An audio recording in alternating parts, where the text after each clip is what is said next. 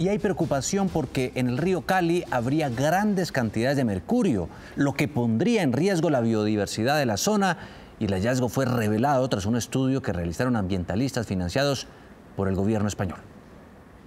El estudio tomó muestras en 21 puntos donde pasa el cauce del río Cali. El resultado demostró altas concentraciones de mercurio.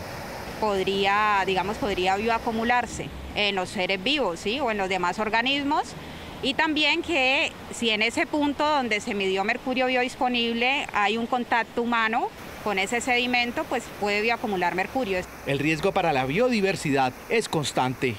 Se encuentra que las concentraciones de mercurio en sedimento están por encima de las normativas internacionales.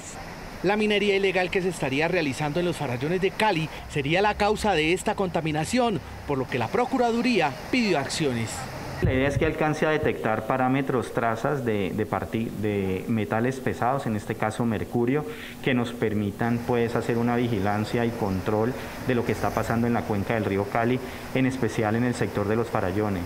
Se espera que con el análisis se pueda detener las fuentes de contaminación del río Cali.